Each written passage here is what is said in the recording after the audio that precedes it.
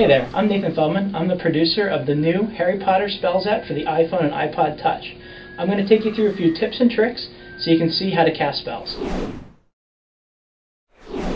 For my first tip today, I'm going to show you how to hold your wand. So you put your hand up in the air, you put your thumb on the screen, you draw the shape, you let go, and it casts a spell. Let me show you that one more time. Pay attention to my thumbs.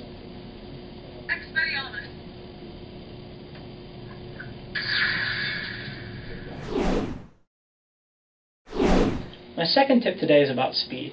You don't want to go too fast or too slow. Let me show you some examples. So this is too slow. This is too fast. You kind of want to go about an average speed.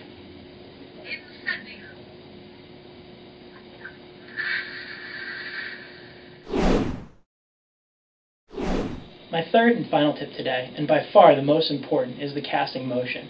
So you cast spells like you draw on a blackboard. Let me show you.